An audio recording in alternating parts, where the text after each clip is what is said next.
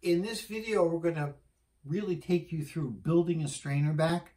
And you've seen bits of it in other videos, but this is dedicated specifically to making a strainer back.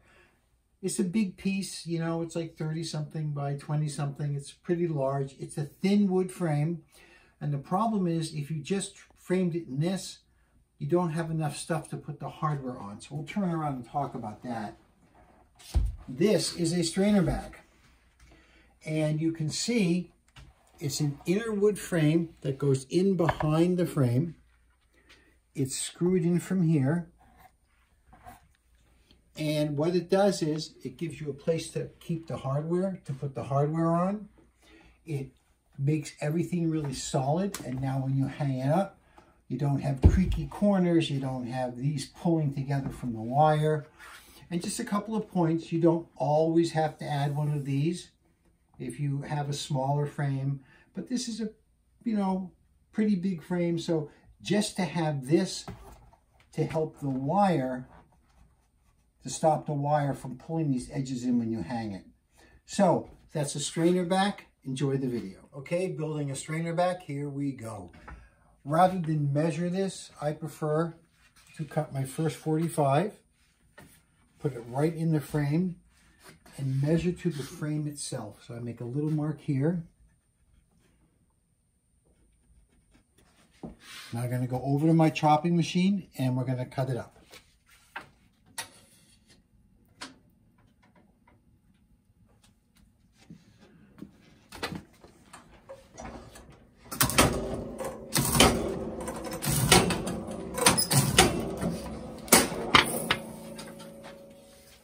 Okay, this fits perfectly.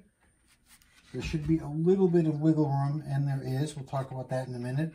So now I'm going to cut the second one of these, and I'm going to cut two for these sides. And when that's done, we'll show you the next step. Okay, as we showed you in the opening video, I have to drill holes in these. And I need the screw to come through here and just come about this far into the frame. So the first thing I'm going to do is do my measuring.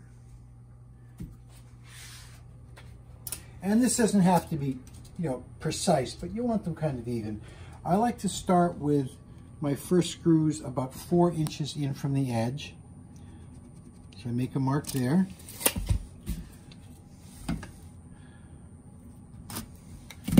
Now I'm going to do, these I can do the short and the long sides at the same time.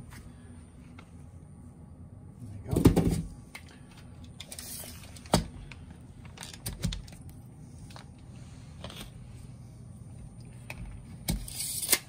I hate this ruler.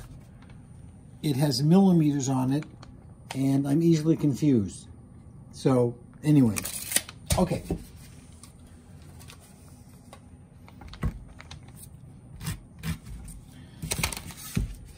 Now for the short ones, we're just going to have three screws going into the frame.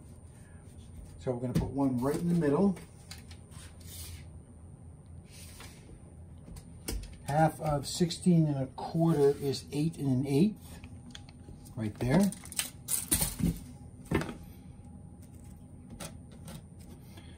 That's where I drill the holes. And we want to keep in mind that this is going to be in the frame like this. So these holes need to be countersunk and they need to be on the inside of the strainer, not on this side. We're going to drill on this side in a little while. Okay. For this one, I'm going to do two screws. So I want to take, well, that was fortunate. 21 divided by 3, that's 7. 7 14. I mean, if it was some weird number, I would have stopped the camera and done some ciphering. but this worked out pretty easily. So here we go.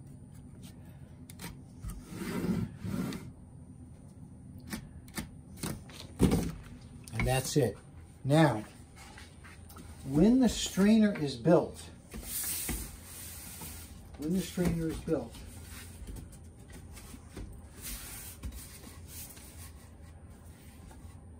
there is going to be a wire, which we showed you in the first shot, a wire going from here to here.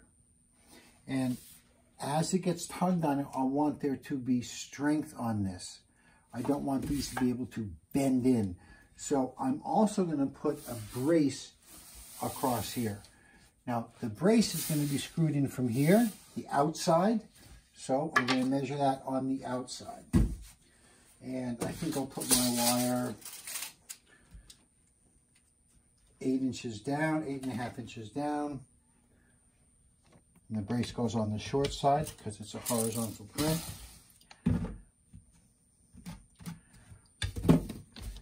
So when it's all put together, we are going to have a series of holes drilled into here all the way around to screw into the frame. And we're going to have one hole here and one hole over here to put the brace in. So now we go over to the drill press.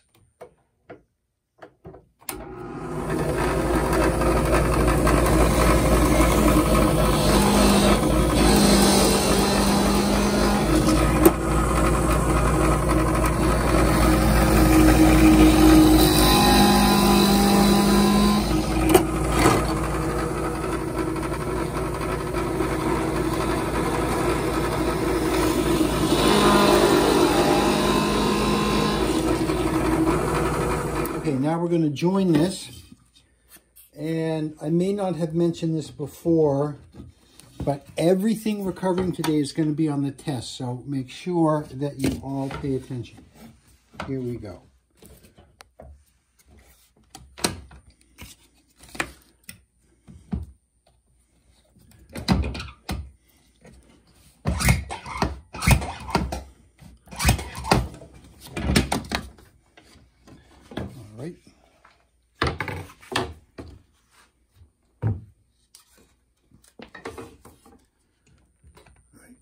So this is an underpinning machine made for putting frames and things just like this together.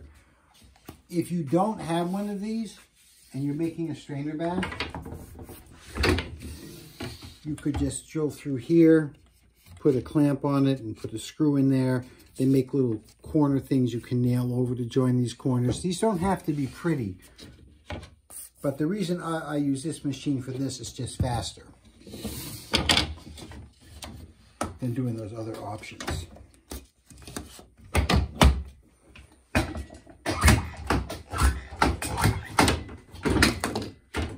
Okay. Okay, now we're ready to cut the brace before we install it. And remember, we talked about having a brace going from here to here. So when the wire tugs on this, it won't over time pull these or flex these in a little bit. The important thing when you cut a brace is you want to cut it to this length. You measure here. Because let's say this wood, and it happens all the time, is slightly bowed in a little bit. Now I'm exaggerating, but imagine it had a slight bow in, and that one had a slight bow in, and you measured here, and then you just built into your strainer back whatever little imperfection was in that wood. It could also have a slight bow going out. And if you measured from here, you would have measured that bow into the finished product. So we measure from here. So I'm just going to make a mark with the pencil. And a lot of times when cutting this, I will do what they call sneak up on it. I'll cut it and maybe err toward having it a little bit long. And then if it's too long, I just trim it off a little bit. Let's go cut it.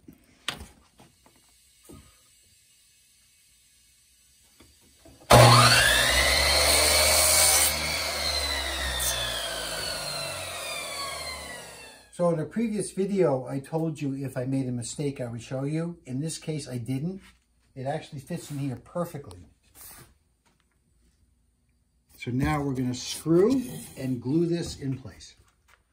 All right, I'm ready to put the brace in. And remember I said measure the opening at the corners where it's the true width you want. And remember how nice this fit? if you look here, oh, let's come over here. Look at that gap. Because these pieces of wood are a little bit bowed. When I screw this together, that's going to pull in nice and tight.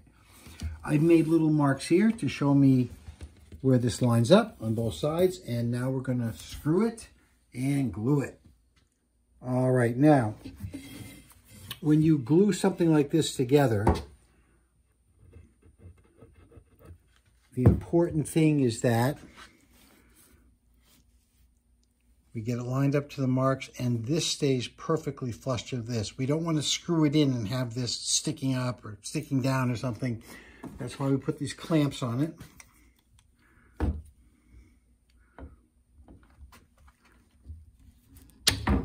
And that's going to hold it nice and tight. I got to grab my drill.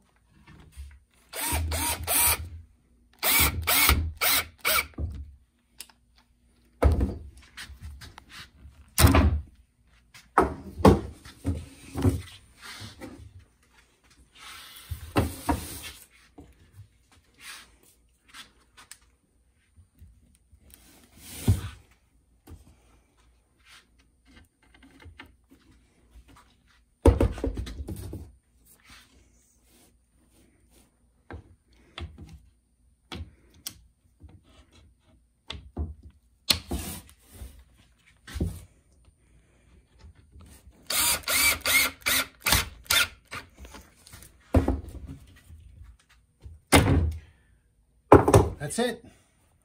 Okay, a lot of places don't do this, but I like to glue and staple in some corner blocks just to keep everything a little stronger. So here we go.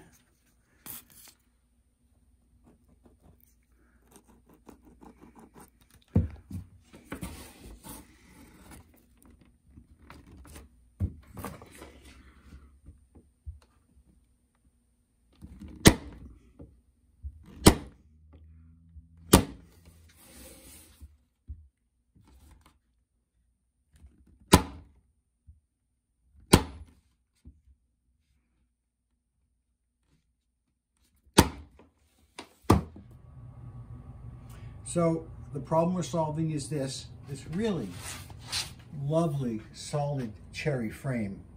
It's large, like 27 by 30 something. This is not strong enough to just put hardware into the whole thing can bend, right? So you need to do what we talked about. So this is going to fit in here. And then when the time comes, I'm gonna show you how we screw this into the frame. Okay, here is the strainer back has the extra brace added because the wire is going to run from here to here. And in goes the strainer back. Oops, goes this way. The other thing you have to do is make sure that this is the top of the print because that's where the wire goes. Let's see how I did. Perfect. Okay, so in the real world, almost nothing is ever really perfectly square. And in the case of building a strainer back that fits into a very thin frame, um, which we can see right here, which is what we have been doing the video about, um, it's not always going to line up. Take a look here. We're nice and tight here. We're nice and tight here. But if you come down here, you see that gap. And we have a gap here as well. So Two things you do not want to do. You don't want to make the strainer back so it fits real tight and you have to kind of push it in. That's going to stress the corners out. Um, and you don't want to spend hours planing it down, getting it to fit in here just right. That is also a waste of time.